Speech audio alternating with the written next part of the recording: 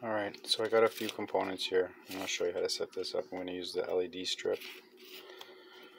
This is power from the power supply. Can't see it, but it's 5 volts. And say the LED is the light that we want to control. So I'll just show you. Get some power. Okay. So super bright. Sorry about that. But here's our light. Okay. Going to wire this up is the power for the light. It's going to go into our V-in. Ground for the lights. Again, this is all from the power supply. Go into ground.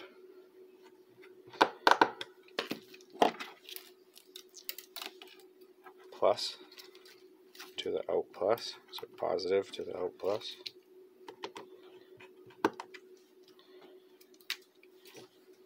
Negative to the out minus. So this is our load connected now. So now we have power in and a load. And we can turn this on now. Nothing's going to happen. It's just going to power up the screen. Right? Okay. Next thing we're going to do is we're going to use this battery box as my trigger. This is a high trigger. So every time we turn the box on, that's a trigger. Positive into the positive.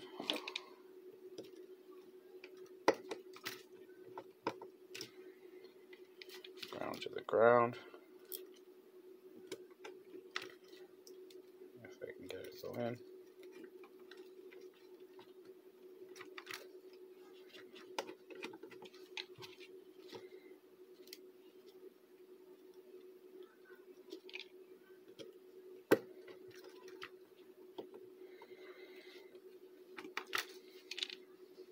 course I can't.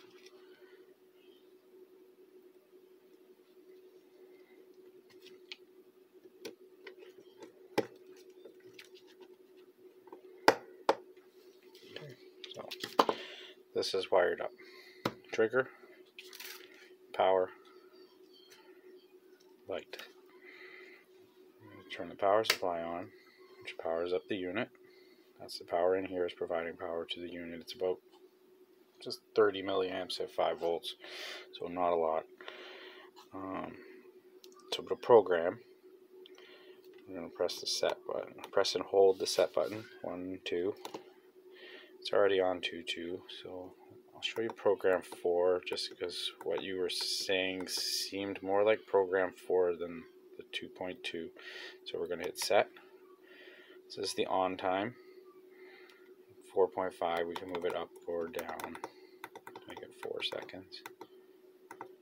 We hit set.